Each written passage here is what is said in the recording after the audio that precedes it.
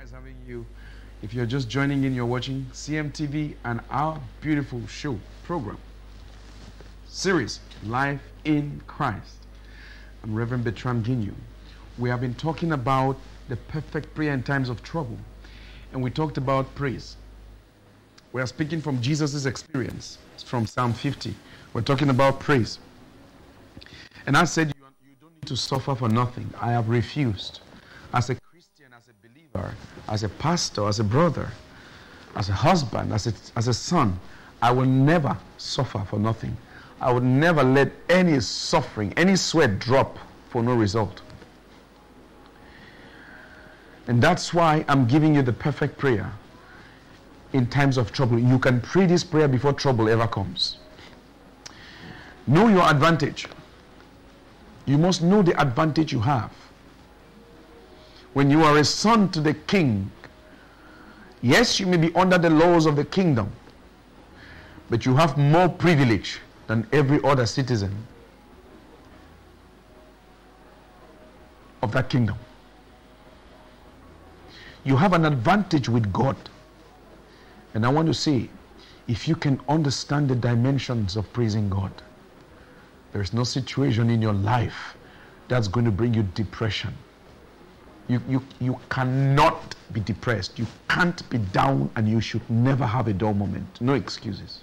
You will arise and shine. And I'm giving you the secret. King David think, thought through these and wrote again in Psalm 37, in verse 7.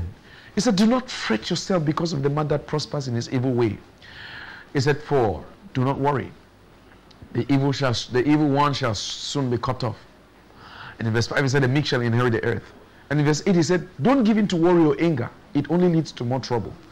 You don't, you don't give in to worry or anger. Apostle Paul speaks the same thing when he's writing to the Philippian church in Philippians chapter 4, from verse 4.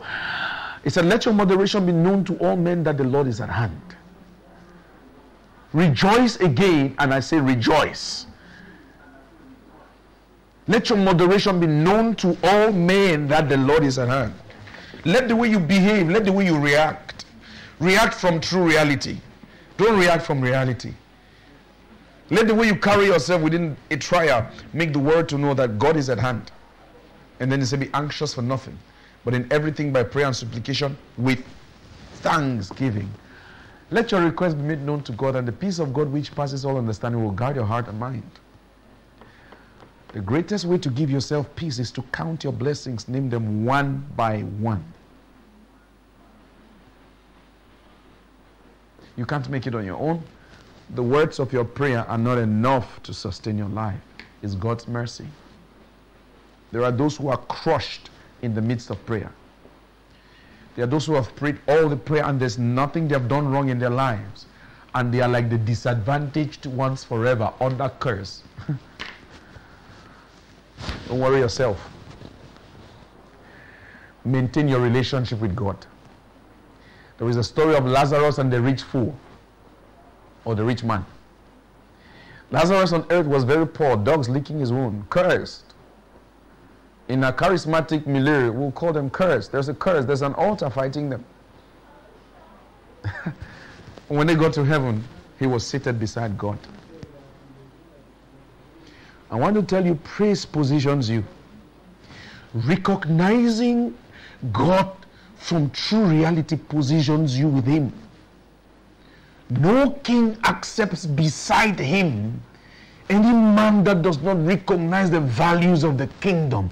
No president sends ambassadors who recognize not the values of the kingdom. And do not forget, not every defender of a nation's integrity is brought to the public. Not every defender of the kingdom of heaven is given a face of prosperity on the earth, a face of enjoyment but there is a dimension of oppression you carry that the world cannot see. God makes it seem like you are destitute, poor, cursed for life, but you are the secret of some people's survival. Hallelujah. It's, it's amazing. It's amazing. I want you to be able to see God and to look at God beyond your suffering. refuse, reject to suffer any suffering that is not ordained by God. And how would you know? You would know that your suffering is not ordained by God when you begin to praise Him.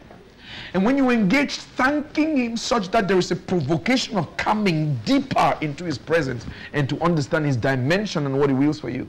Imagine Jesus, a whole Jesus.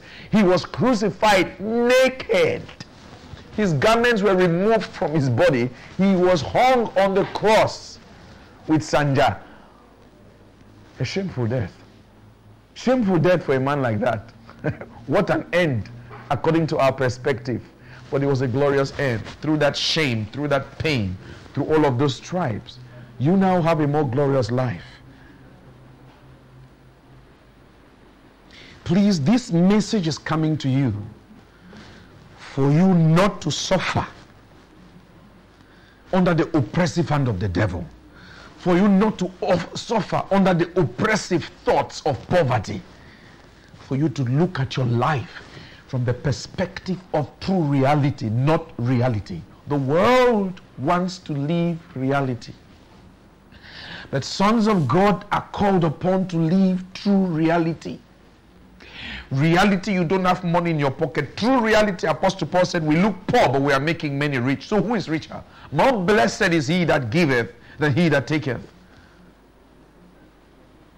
The Son of Man has nowhere to lay his head, Jesus said.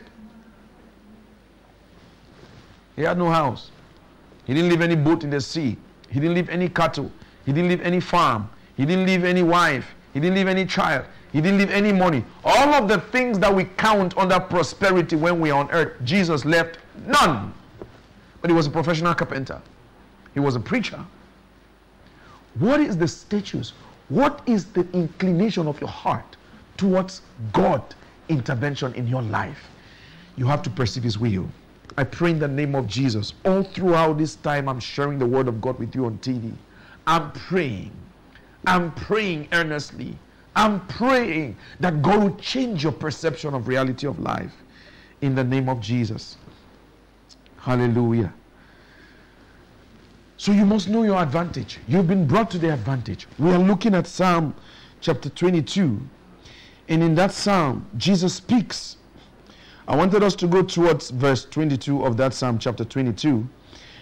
All what Jesus was saying he said in verse 11, He said, Be not far from me, for trouble is near, for there is none to help.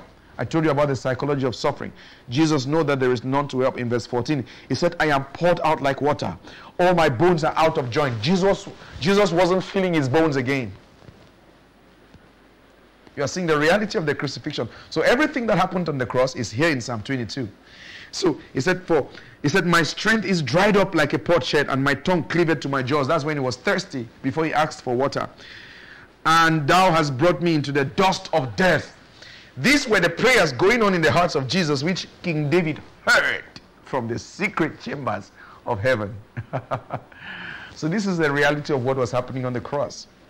Now, we go to verse 22. After Jesus has expressed all these things, he now goes into